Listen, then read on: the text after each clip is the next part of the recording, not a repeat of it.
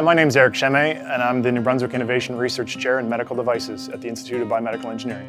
We're really internationally renowned as one of the top centers in the world for prosthetics research. And this year is, we're entering our 50th anniversary at the Institute here, so it's a big year for us. So we have several projects on the go right now, uh, both that we've developed internally, but also ones that we're working with industry. We think we can provide some economic benefit to the region and also create jobs to keep students here when they're done. One of the things that we face as researchers in this field is this expectation set by the media. So we see things like iRobot or Terminator where we have fully functioning integrated hands.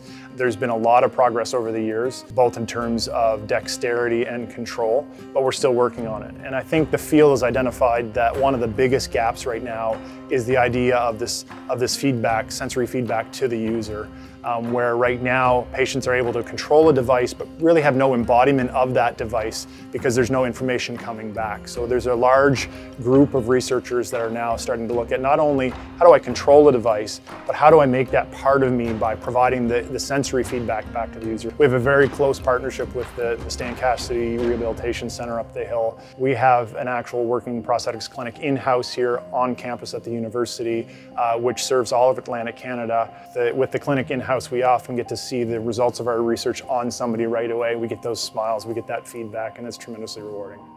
So I, th I, think there's potentially a huge impact in terms of our prosthetics research here at the Institute. We've already seen it disseminated across the world, a, a number of some of the technologies that get used and some of the control approaches in prosthetics that are still used to this day were developed here at the Institute. There's the thing called the UNB three-state controller, which is still used widely across the world in prosthetics. We host the world's only triennial conference on upper limb prosthetics here as well. So we've done a lot of research here, but we've also focused really strongly on disseminating our research across across the world, so it has maximum impact. In terms of the New Brunswick Innovation Research Chair, there's tremendous potential here uh, within the province. Uh, with an aging population, uh, with a large incidence of chronic disease, a largely rural population, New Brunswick is almost a living lab for research in terms of, of, of healthcare. And so we see it as a real potential for the rest of the country and North America to look at as a place for companies to come and develop, to do clinical trials here.